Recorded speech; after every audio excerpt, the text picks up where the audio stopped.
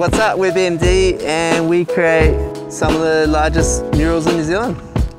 I would describe BMD as a two-part breakdancing gang that forgot how to breakdance and started painting walls.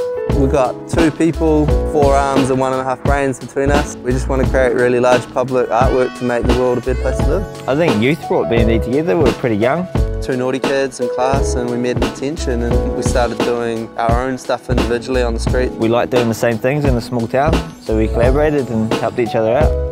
Is that straight, bro? You know, we can do bigger things with the same amount of effort and instead of two names it became one name and it swallowed us both up and create one artist. And it's quite cool, I couldn't produce something truly BMD without him and vice versa we kind of came together with the fine art side and more of a graphic side. I kind of feel like I see the world in 2D and he sees the world in 3D and together we get 6D. We sit down and, and figure out, sort of feel the wall out and find the artwork for it. Sometimes there's an idea we really want to paint and we're either looking for a wall or the first opportunity comes up, we try it out. It starts conceptually, like one of us might go, oh, I might do a giant horse, and then we'd sort of talk about patterns and the fills and the colours. It's very collaborative how we go back and forth.